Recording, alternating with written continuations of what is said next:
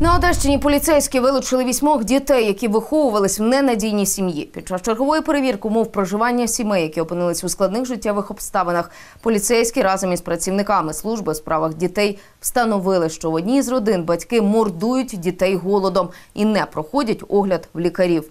Коли правоохоронці зайшли до напівзруйнованого будинку, то на порозі застали матір з батьком, які з позаранку вже були під мухою. Тим часом за сімома дітьми родини наглядала їхня 14-річна сестра.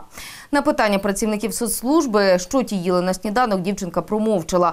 Пусто було і в холодильнику. Зауважу, що від початку року поліцейські вже чотири рази притягували до відповідальності матір за невиконання батьківських обов'язків.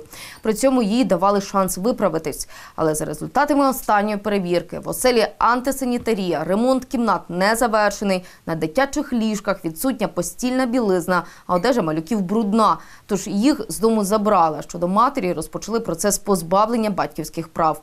Тим часом її вісьмох дітей направили в районну лікарню, де ці пройдуть повний медичний огляд.